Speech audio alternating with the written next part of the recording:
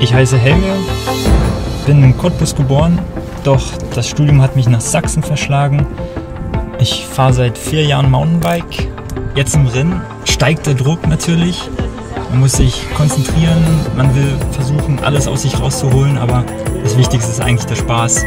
Und ich brauche die Natur, spüre die Wurzeln, die Steine und den Dreck und fühle mich frei.